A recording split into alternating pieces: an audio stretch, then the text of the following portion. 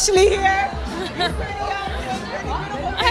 Talk to us. What's going on next? Are you you're not touring yet? I'm not touring right now. I'm working on personal projects. Um, I'm really focusing a lot on my clothing line that I have and a swimsuit line that I just dropped this week, actually. It's called Phae. It's right here on my neck. P H A E. Phae Design on Instagram.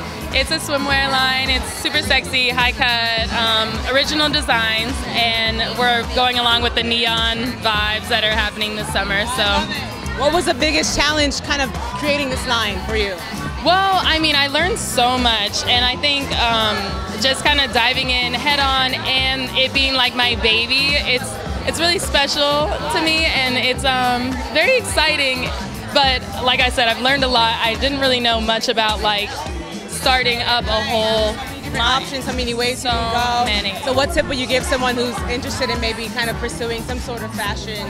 I would say just do it. You know, the way you learn is by doing it. And I've learned so much. You're going to make mistakes, but you learn so much as you're doing it and it's really fun and it is important, you know. Be sure to check out that swimwear line by my girl Ashley. It's Phae. And keep it locked right here for all your fashion and film news. Black Truth Thank you.